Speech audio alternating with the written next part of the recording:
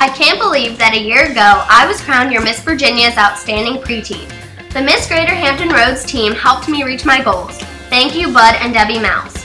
I also need to sincerely thank Patty Frankos, Margaret Osborne, Kay Sykes, Millie Harris, Lisa Hicks, and Kyle Haggerty for helping me prepare for the competition.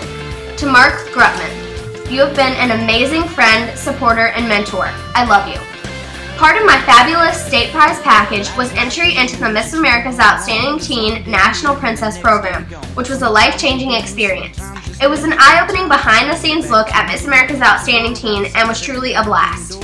I've traveled the state of Virginia supporting my platform Compassionate Kids and recently volunteered for a children's hospital of the King's Daughters Project that raised over $100,000. I truly believe that the community service is what makes the organization so special.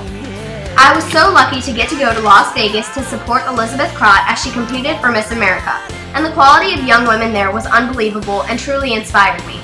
My sisters, where do I begin? Dominique, you are so funny and I look up to you so much. The jet ski adventure was hysterical. Elizabeth, you are terrific and I will never forget our funny car rides and good times.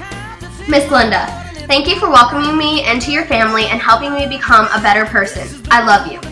Lee and Bob, thank you for being great business managers and lining up many appearances.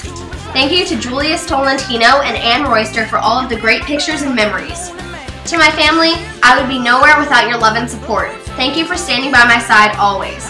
Patty, you were tireless and did such an incredible job making most of my Miss Virginia wardrobe.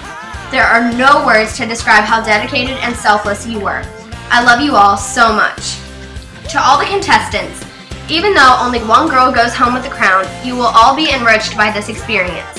To the next Miss Virginia's Outstanding Preteen, have fun and enjoy it while it lasts because your year blows by in the blink of an eye.